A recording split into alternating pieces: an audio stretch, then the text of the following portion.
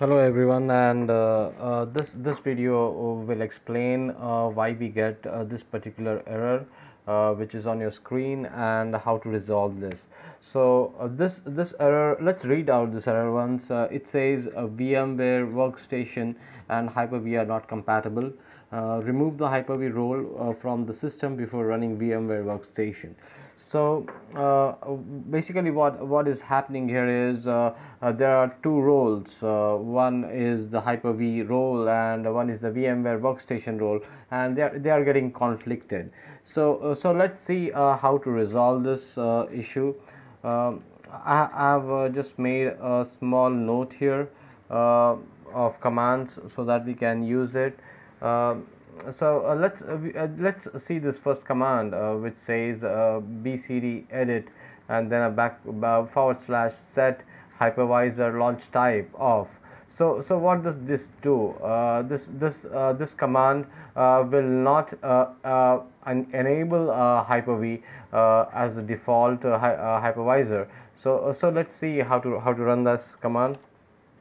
So we need to go to the command prompt and from there we need to go to uh, bcd edit set hypervisor launch type off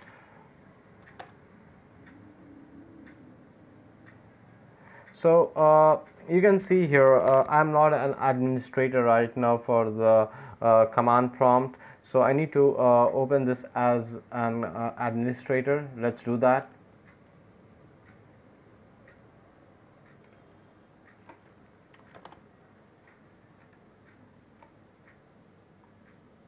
So this is the run as administrator and here we go.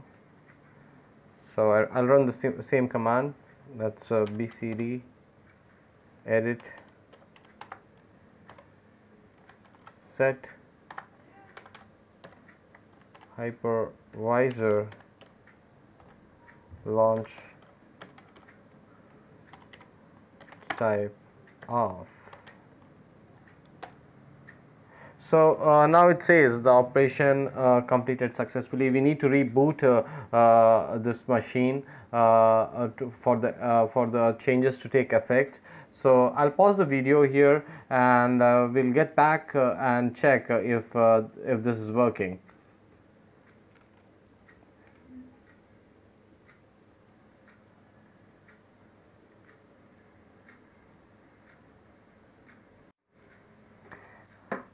okay uh, my system is back up after the reboot and uh, now let's test uh, the VMware workstation after running that command.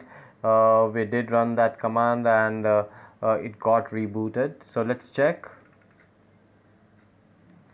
So here we'll just select the VMware of our choice and let's try to power it on. And here you go. So this is this is the uh, command that you need to use um, I'll, I'll just uh, open up that command for you once again. Uh, this is working here.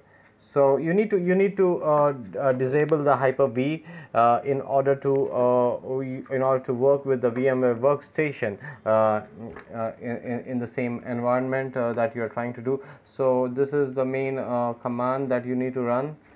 That is this is the one. So it's a bcd edit uh, forward slash set hypervisor launch type off so and uh, once you if you want to enable the hyper-v role again so you, uh, you you can use the following command that is uh, bcd edit forward slash uh, set uh, hypervisor launch type and uh, make it auto in place of off and reboot the computer. And you should be all set with the hypervisor hyper-v role back again in your machine. So this is uh, this is a small uh, uh, tip that you can use if you are facing uh, uh, the conflict error between